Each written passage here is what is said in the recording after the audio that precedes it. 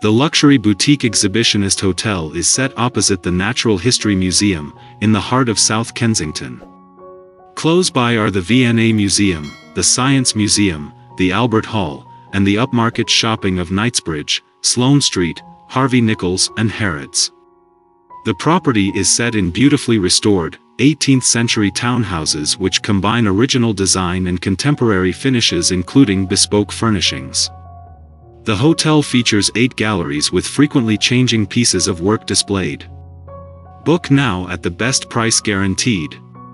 Using the link below to reserve your room.